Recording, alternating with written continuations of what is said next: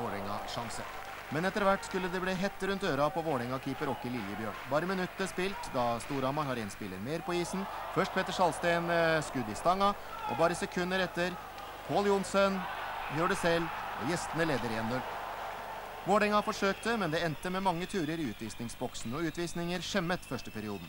11,5 minutt eh, spilt, to Vålerenga-spillere utvist. Storhamar spiller 5 mot 3, og igjen Pål Johnsen. Storhamar leder 2-0. Og bare halvannet minutt senere, Storhamar én spiller mer. Se på nummer ti her, Ole Eskil Dahlstrøm. Der er Dahlstrøm, og Storhamar leder 3-0.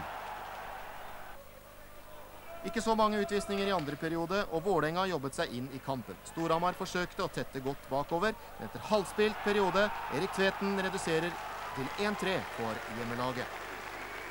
Og Vålerenga-maskinen malte videre. Like før annen pause er Rune Fjelstad 2-3 som sto seg ut midtperioden. I tredje periode presset Vålerenga kraftig for utligning og vant skuddstatistikken hele 8-2. Og drøyt 12 minutter spilt, Vålerenga i angrep, og følg nummer 46 her foran målet, Kjell Nygaard, får kranglet pucken inn og utligner til 3-3. Et resultat som sto seg kampen ut.